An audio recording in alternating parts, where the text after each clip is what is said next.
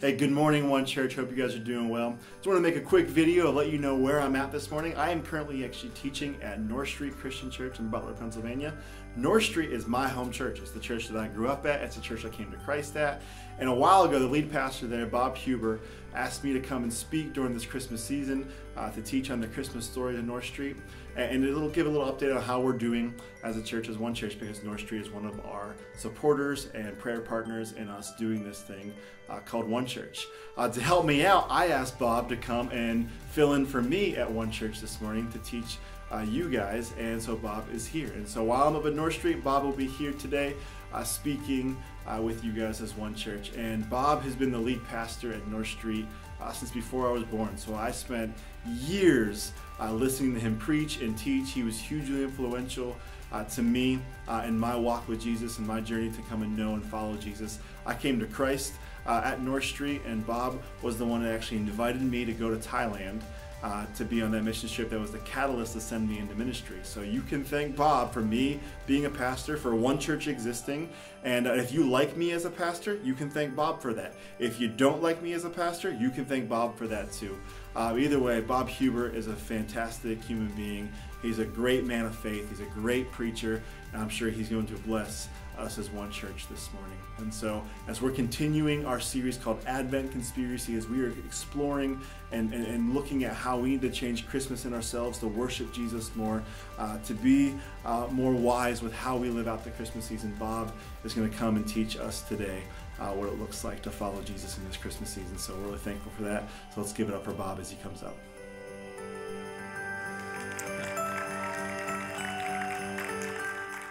Thank you very much, and uh, I thank you so much for the opportunity to come and speak, and also for sharing Brandon. Brandon is a special, uh, he's not just a young guy anymore, a special man, and uh, the Lord's used him big time. And uh, I've really seen him as a dedicated servant for a long, long time. And he and Danielle certainly are uh, dedicated servants here. And uh, lately I've been stuck on Psalm 103 that says, Bless the Lord, O my soul and, uh, and when I read that, I think, how could we ever bless the Lord? He blesses us, and we pray, Bless us, Lord, bless us, Lord. But the scripture says, Let's bless the Lord. And uh, we bless him by service and obedience and following his will, but also blessing his servants. And I know Brandon and Danielle certainly are blessings to you, and bless them back in every way. And your team is just great here. Thank you so much. Uh, North Street's uh, Christmas series is called Christmas Through the Eyes of a Few Wise Guys. And I invited four different people to speak uh, at North Street. And Brandon is being our wise guy at North Street today. And he's preaching from Luke chapter 2 about the angels. Well, as I come, I want to share a message called An Inconvenient, Unconventional Christmas.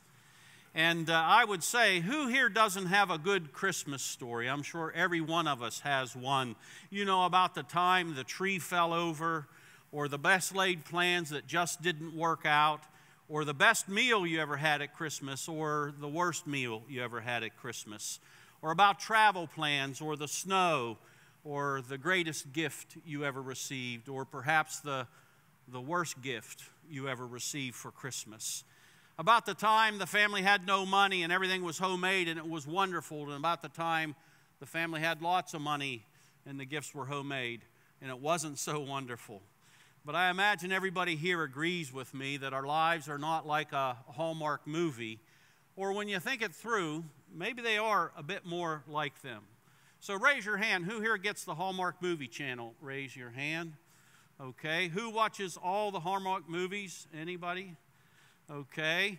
And uh, who has a, a, secret they don't want to tell that I watch them when nobody's home? I think the guys maybe are more like that. But if you watch the Hallmark movie, they all go on like this there's a missed flight, or an unexpected snowstorm, or the car breaks down, or someone has amnesia, or there's a homecoming. And these provide the storyline and then the plot is about saving the town or saving the business or the factory, about saving a relationship or saving the celebration or saving the cats and dogs. They're always about something that needs rescued.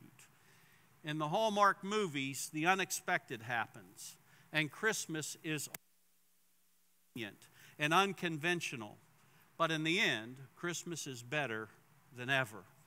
And after you watch one of those Hallmark movies, you get sort of addicted and you go get some more cookies and some hot cocoa and you watch another one. And I did a little research. There's about 150 different Hallmark movies, 22 new ones this year. And tonight, the premiere is called Welcome to Christmas at 8 o'clock. So I imagine through my influence, some of you are saying, I've never watched one, but I'm going to watch one tonight. But they have titles like this Christmas Next Door, Catch a Christmas Star, A Boyfriend for Christmas, A Christmas Detour, A Christmas Cutter, A Christmas Cookie Cutter, A Cookie Cutter Christmas, uh, Mingle All the Way, Christmas Getaway. And uh, they're all hokey. And they're really all the same story, just with different characters.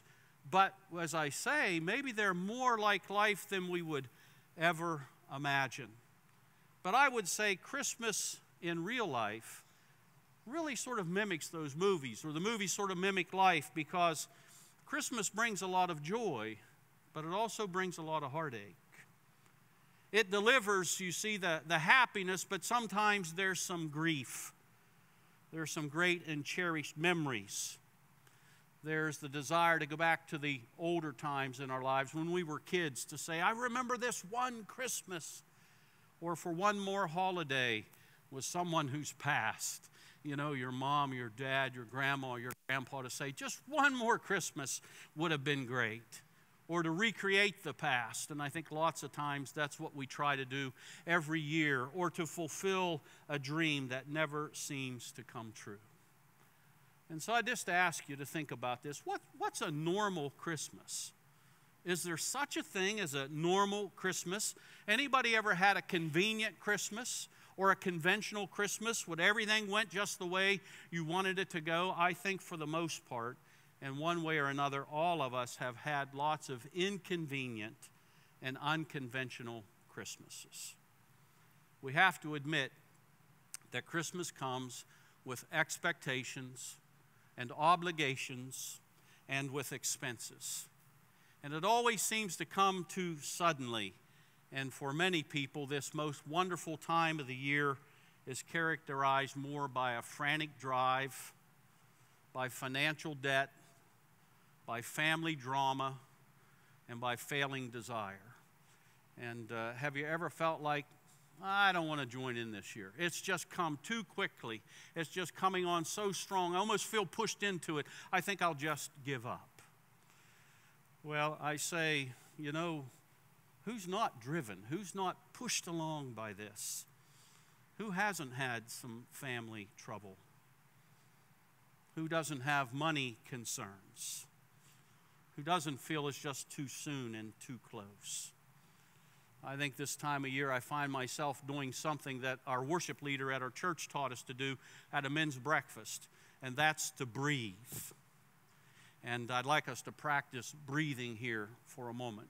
Here's what I want us to do I want us to breathe together for a count of six and breathe out for a count of eight. Are you ready? Start breathing in. One, two, three, four, five, six. Out. One, two, three, four, five, six, seven, eight. That's more out than in. That's for a reason. Get it all out. Now do it one more time. Ready? In and out. Now, I'm not teaching you yoga, that's something they do. But I just have to tell you, in the middle of a busy day or driving down that highway or when the pressure's coming on so, too, too strong, just don't forget to take a breath. Because I think we're just pushed along so much so. So, guess what? Today, I want us to take a spiritual breath. I want us to breathe in and breathe out what God has provided. And I want you to understand that, guess what? Even the very first Christmas was inconvenient and it was unconventional. It was full of the unexpected. And with the best laid plans, they went south. Now, think of this that very first Christmas, there was no tree, there was no turkey, there certainly was no ham, there was no family gathering. or even a decent place to stay, and the gifts arrive late by a year or two when you study the passage of the scripture. Most of the people in Bethlehem were just too busy fulfilling their schedules. They were so preoccupied, they went on like nothing ever happened, and they missed it all. They found no room for Jesus when he was born. So think of it this way in the midst of the miraculous, life drowned out the good tidings of great joy. And that would have been true on that first Christmas, and that's true today. You see, of all the people in the world, it's people like you who gather on the Lord's Day to remember and to worship, who have the best chance of really becoming worshipers at Christmas. So, we're about to go to the scripture, and we're going to look at a passage uh, in the book of Luke in chapter 2. Now, listen, it's about two old people. The lady's at least 84 years old. We're not sure how old the man is, but when I look around, I, my wife and I were 64 and 65, are probably the oldest people here. And I just want you to know the two people you're going to meet in Scripture, their names are Simeon and Anna. We're Bob and Kathy. Uh, sometimes old people have something uh, worth receiving. And in the busyness of the first Christmas, just a few weeks later, we're going to find about Simeon and Anna and what they knew about Jesus. So I want to read from Luke chapter 2, beginning in verse 21 and through the 38th verse. It says, On the eighth day, that's the eighth day after Jesus was born, when it was time to circumcise him, he was named Jesus, Yeshua. It's the name Joshua, which means he saves. And that name was picked by God. And the name that was the name the angel had given him before he had been conceived. Now, when the time of their purification according to the law of Moses had been completed, so that's 40 days later, he's six weeks old now. Joseph, Joseph and Mary took him to Jerusalem, not in Bethlehem, but to Jerusalem to present him to the Lord. As it is written in the law of the Lord, every firstborn male is to be consecrated to the Lord, and to offer sacrifice in keeping with what is said in the law of the Lord a pair of doves or two young pigeons. Now, because that's what they offered, that would mean they are poor, because normally you offered a, a lamb and a bird. But if you were poor, you could offer two birds, and they did. Now, there was a man in Jerusalem called Simeon who was righteous and devout. He was waiting on the consolation of Israel, and the Holy Spirit was upon him. It had been revealed to him by the Holy Spirit that he would not die before he had seen the Lord's Christ. Moved by the Spirit, he went into the temple courts when the parents brought the child Jesus to do for him what the custom of the law had required, Simeon took him in his arms and praised God, saying, I want to stop here for a moment and I want you to see this old man. I'm guessing he was in his 80s or 90s. He wanted to die, but he knew he couldn't die until God revealed to him who Jesus was, who the Christ child was. And it says he took Jesus in his arms. Now imagine this is God in the flesh being held by this old man.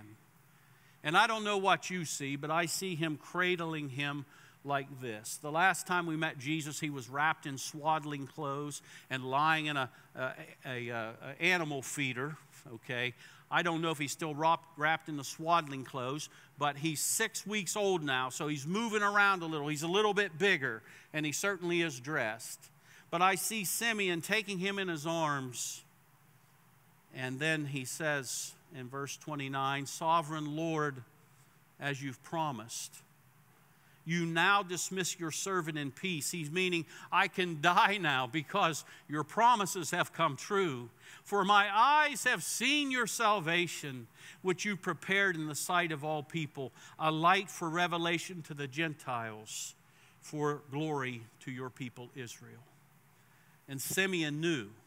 He knew because he was a student of the Old Testament and he knew because of the revelation of the Holy Spirit that this boy was special. This is God's consolation for Israel. And he knew that the Savior would come first to the Jews and then to the Gentiles. Verse 33 says, The child's father and mother marveled at what was said about him. Then Simeon blessed them and said to Mary, his mother, and I sort of see Simeon taking that boy from under his arm now and maybe holding him out before the Lord because he came as a sacrifice, saying to his mother, This child is destined to cause the falling and the rising of many in Israel, and to be a sign that will be spoken against, so that the thoughts of many hearts will be revealed, and a sword will pierce his own soul too. Now, there was also a prophetess, Anna the daughter of Phanuel, the tribe of Asher. She was very old. She had lived with her husband seven years after her marriage and then was a widow until she was 84. She never, hardly ever, we would say, left the temple. She may have lived in the temple courts, but worshiped day and night, fasting and praying. Do you know a lady like that? It might be your mom who always stays in the presence of the Lord. She doesn't have to be in church to do it, but she's always thinking about the Lord and the Lord's kingdom and the Lord's way, and she's given it up to God all of the time. This was a holy woman. And coming to them at that very moment, she gave thanks to God and spoke about the child to all who were looking forward to the big word redemption of Jerusalem. So today, I want to share with you five Christmas exclamations. Most of these are adages of the modern day, at least one of them straight from the scripture, but I didn't take them from the adages, I took them from the scripture, and you'll see or hear these this time of year.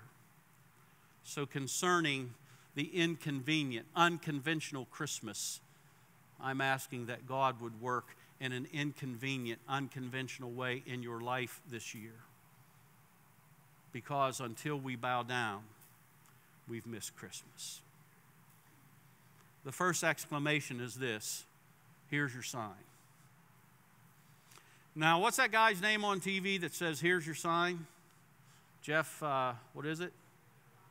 No, it's Bill Engvall. Jeff Foxworthy is the redneck guy. I was just checking to see what rednecks are out there like me. It's Bill Engvall that says, Here's your sign. Like he has this one that says, You know, I pulled alongside the road, I had a flat tire. A guy comes along and says, Did your tire go flat? He said, Nope. He said, I was driving along, those other three swelled up on me. I had to stop to let the air out of them. Here's your sign. That's what he says. But many people are waiting on a sign from God say, Lord, show me this, show me that. Do you really love me? Do you want me to come to you? And I don't know about you, but I've never seen my name written in the sky. I've never audibly heard God's voice, but I'll tell you what, I've heard God speak to me in my heart and move me along the way. I grew up as a Roman Catholic altar boy, got mad at God when my mom and dad divorced, quit church, met a pretty girl, I ended up marrying her, and uh, through a football injury, but when I started going to church just to sit with her, so by the way, if you came to church to sit by your girlfriend, God might still get a hold of you. It doesn't really matter. But uh, one night I drove out in the country and I had this old VW and I pulled the roof back and I said, God, if you're there, I got to know. Because I had written him out of my script, but he hadn't written me out of his. And I didn't see anything, I didn't hear anything, but there was this awesome presence, this warmth that came over to me that was a confirmation I'm here. I love you. And that was the beginning of me coming back to Him. That was my sign, but guess what? I didn't need a special sign. God had already given the sign of signs when His Son was born through a virgin woman who lived that sinless life and died that vicarious death and then died on the cross. That was the sign that all should come.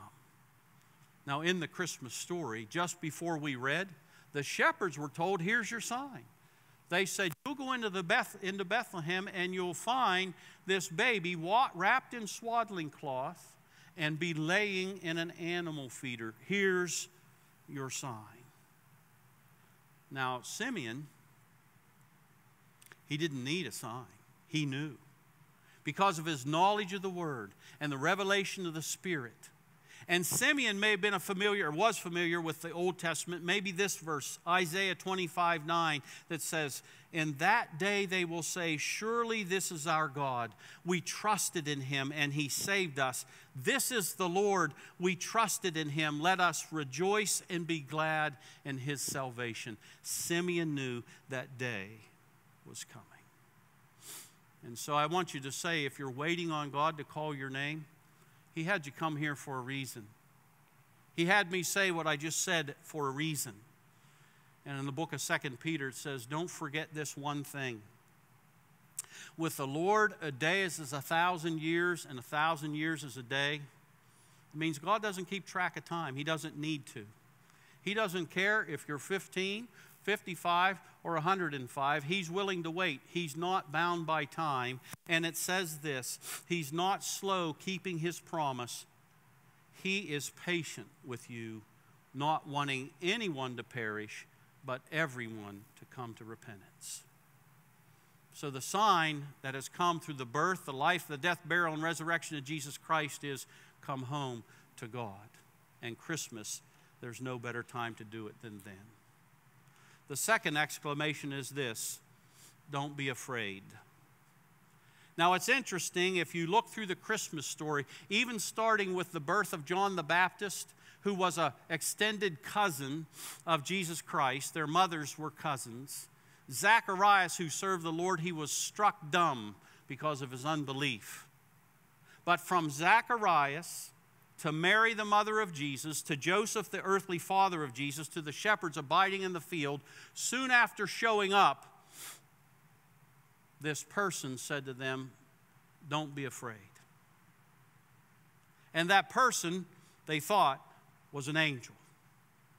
Okay, they thought it was a it was a divine messenger from God, and the very first words are uh, soon out of their mouth were, "Do not be afraid." So I figure this: if anyone walks up to you, whether it's in a store or church or at school, you know, at, at work, in the neighborhood, and out of their mouth, right after they start speaking to you, say, hey, don't be afraid. Pay attention, because that might be an angel from the Lord. But see, I'm here to say, don't be afraid. I'm saying this stop fretting. Don't let fear drive your life. And so often we're driven by our unbelief rather than our belief. And fear can take over where faith should be. And just like we learned to breathe in and breathe out, I want to say spiritually breathe. Let go and let God have His way for Christmas. To the moms and the homemakers here, you know, the menu for Christmas Day and all the gifts that still have to be bought and wrapped and all the decorations, they're wonderful but don't miss Christmas because of them. For dads and you know wage earners and and everybody's a wage earner. You know, don't get too concerned about the Christmas bonus. We know a movie about that one, don't we? Or too concerned about you know I got to get here to here to here to here, and, and we leave the Christ child behind. Just lay it down. God has your fear covered in Jesus Christ. And not in Him alone, but in this church. See, I talk a lot about the vertical and the horizontal. I mean, there's vertical grace that comes down to us, lives within us, and then there's horizontal grace that we give to one another and receive from one another. And there's that vertical love and that horizontal love. It comes down from God to us and we love Him back, but it's, it becomes significant when we love other people. And I just want you to take a look around here today. This is your church family. These are the people whom you do life with. And don't be afraid, they've got your back. They'll be with you and for you. So let's not be such control freaks. We don't have to have everything going the way we want. We have to rest and relax in the ways of the Lord. Number three, a baby changes everything. Now, that's a uh, Faith Hill song. That's a billboard. And that's a card theme these days, but I want to tell you that's a truth for sure. I mean, in regular life, we would all testify a baby changes everything. Am I right? I mean, schedules and maybe where you live and how you decorate the house and where you go and what you spend your money on. And nobody ever had to teach a baby how to be selfish. Am I right about that? They want what they want when they want it. And even when they can't speak, all they do is cry. And then you've got to guess are they hungry? Are they dirty? Do they have a bellyache?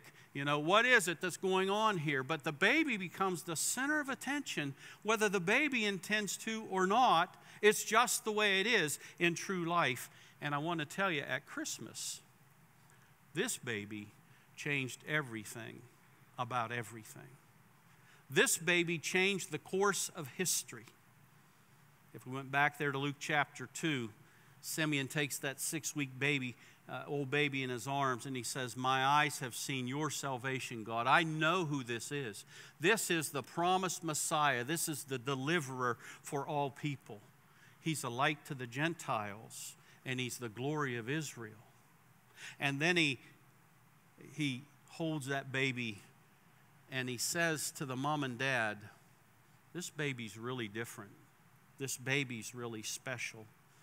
Now, how would you like it if somebody, I'm going to say like me, an old man, held your baby in my arms and said, Listen, your baby has a destiny. Your baby's going to cause a whole nation to fall and to rise. And there'll be a sign that he'll be spoken against. And the thoughts of many hearts will be revealed, and a sword will pierce your own soul too. You know what Simeon was talking about? The scene of the crucifixion. And if we go to the scene of the crucifixion, Mary, the mother of Jesus, was there. Isn't that amazing? That a mom watched her son, you see, be die by capital punishment. She, she stood there and she watched. But those strong disciples, all of them but John the apostle, had already run. All the strong men were gone, but his mom was there, and certainly a, a sword pierced her own soul. And I'd say, you know, how would you like it if somebody said that about your baby? But this baby changed the world. Fourthly, Jesus is the reason for the season. That's an old one, but a good one. See, sweet little baby Jesus became the suffering Savior. I figure he was in the wood, you know. He was laid in that cattle feeder. He was a carpenter's son, and he gave his life on two pieces of timber crossed you know, as the cross upon which he died. Now, Anna said, Listen, I know who this is. He is here because of redemption. To redeem, it means to buy back. And so Jesus came for that very reason. Now, you can never get past the deepest truth about Jesus coming to this earth. You've got to put this in your mind. He was born to die. Our salvation was not accomplished through his birth. Our salvation was not accomplished through his good works or his sinless life. Our salvation was accomplished through his death on Calvary's cross. And so you can't preach Christmas without preaching Easter, so to speak. And you've got to know, even on that cross, when he cried out, It is finished, that's one word in the Greek language. It's tetelestai. It means perfected, completed. It means paid in full. Actually, if, if you know I had an account at your store and I came and paid it off, if we were Greeks, your rubber stamp would say tetelestai, paid in full, paid off. He paid the sin debt for us. And that's the rest of the story. He was God's perfect man, man's perfect God, dying, rising from the grave, ascending uh, into heaven and never forget he's coming again. Galatians 4 says this When the time had fully come, God sent his Son, born of a woman, born under the law, to redeem those under the law, that we might receive the full rights as sons. And it's really a good thing. We become the adopted sons and daughters of God through Jesus Christ. And Romans chapter 5 says, You see, at just the right time, while we were still powerless, Christ died for the ungodly. Very rarely will anyone die for a righteous man, though for a good man, someone might possibly dare to die. God demonstrates his own love for us in this while we were still sinners, Christ died for us. He was born at just the right time, and he died at just the right time. And see, now today, today is a day of repentance, a time to turn around and come back to the Lord, a time to stop walking away from Him and walking toward Him. And Christmas makes that very clear. And lastly, today, remember this wise men still seek Him. See, sometime later, up to two years later, if you pay attention to the text, there were wise men from the east who came bearing gifts, inquiring of Herod, Where is this one who is born the king of the Jews? And if you look at that text in Matthew, you'll see they went to a house. They didn't go to a, you know, a place where there was a, a cattle feeder. They didn't go to outside an inn or out in a stable or on, on, on the attachment to a house. They went to a house where they were living. And then Herod, when he was all rattled about this, what did he do? He put out a decree to kill all the baby boys. How old? Two years and younger. So this didn't, they, they didn't show up the night of the Nativity. This is when he's, he's a toddler. And they came to worship him. And Herod said, Wait a minute, I'm the king of the Jews. I'm going to eliminate him. But the wise men, they still sought him. They still found him. They still worshiped him. See, the world certainly does not give credence to Jesus Christ being the King of Kings and the Lord of Lords.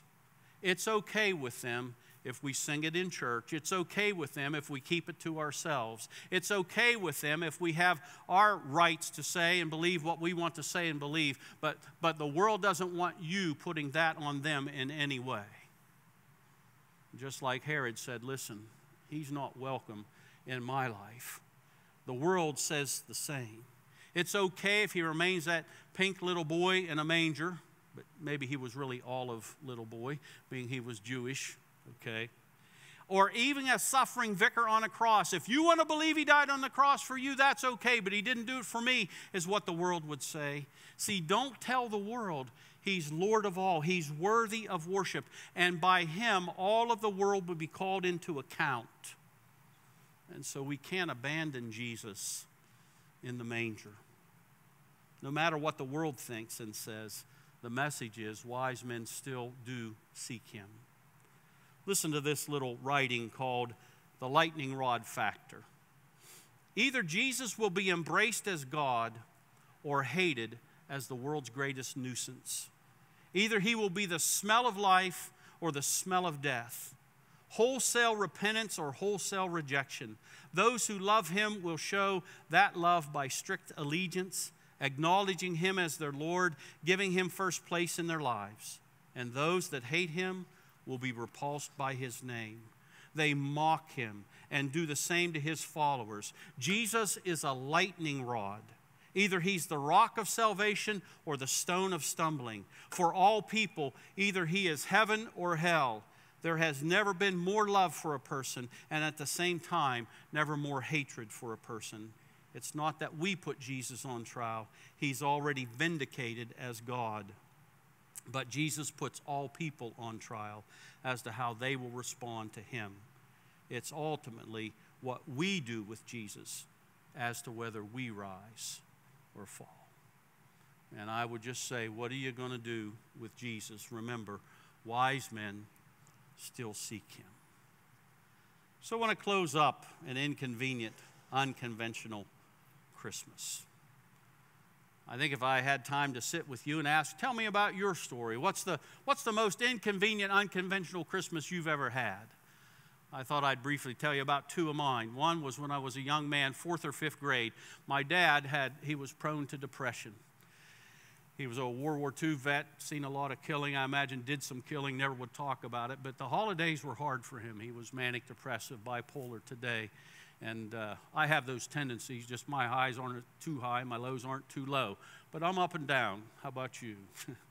Sometimes they're rough, but my dad was in a in a psychiatric unit one Christmas and couldn't come home. And so we delayed Christmas and spent that day visiting him. It wasn't bad, it was good. It was just inconvenient and it was unconventional. And when he did come home, we had a great Christmas, but here I am, 64, and that registered. I can remember being 35 thinking my mom and dad divorced. My dad was already gone, and, and I still wished that my mom dad could be together, my sisters and I could all come to one house for Christmas. That never goes away, and you think, man, Christmas could get you up, or Christmas could get you down. And somewhere along about 23 years ago, I had some arthroscopic cleanup of a knee, ended up with a staph infection, spent 11 days over Christmas in the hospital with IVs. Didn't nearly lose my, my life, but if the antibiotics wouldn't work, I, I would have lost my life. I missed church that year. Didn't worry about the wax on the pews or anything like that. But that Christmas, on Christmas Eve, friends came to visit, brought the Lord's Supper. My daughter brought me a Reba McEntire cassette tape, and I listened to Reba McEntire sing Christmas songs. And my best presents, this is really funny, but my best presents that year were a haircut and an enema. now, that's pretty unconventional and it was inconvenient. But I got to tell you, the relief was really great. But I just want to say, that's when I remember. I don't remember all the ones when everything went right and we got all the, ki- the gifts that the kids wanted and all those kinds of things. I remember my poor wife being there that day could hardly keep her eyes open because our kids were smaller and she was trying to run a business, be a preacher's wife, do all these things, and she made time to come and visit me. But see, I just want to say it's okay. It's okay no matter what's going on in your life. If you're separated from family and friends, if you just had a breakup, if you're in about your job, if you have money trouble, don't miss Christmas. Don't let all that stuff rob you of what it can be. And so keep the truth of Christmas in your heart. If we went backwards in that Luke 2 passage, it says this The shepherds came and it says they hurried off and they found Mary and Joseph and the baby who was lying in the manger. And when they had seen him, they spread the word concerning what had been told about this child. And all who heard it were amazed. And then this verse says, But Mary treasured up all these things and pondered them in her heart.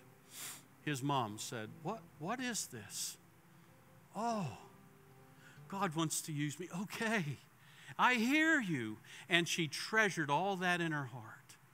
And if we go past the passage we read today, down into Luke chapter 2, toward the end, it takes Jesus to being 12 years old. So we go from his birth to being circumcised at eight days to being presented at the temple at 40 days. And now he's 12 years old. And they go to the temple. And you remember the story. He was teaching the teachers and they traveled in caravans and they started home and people said where's where's yeshua? Where's yeshua? And they go back to the temple and they find him and he says you know he has to be about his father's business. And he says why were you searching for me? Didn't you know i had to be in my father's house? And verse 50 says but they did not understand what he was saying to them. And verse 51 says then he went down to nazareth with them and was obedient to them any kids that you know, listen, even Jesus listened to his mom, okay? But his mother treasured all these things in her heart, and Jesus grew in wisdom and stature in favor with God and man. And I would say, as Christmas worshipers, let's be like Mary. No matter what's going on in our life, no matter what the world says, let's worship Jesus in our hearts. Let's bow our heads. Almighty Father, we thank you for these moments to be together. We thank you for the power of your word. We thank you that we can laugh a little, and Father, that we can have memories.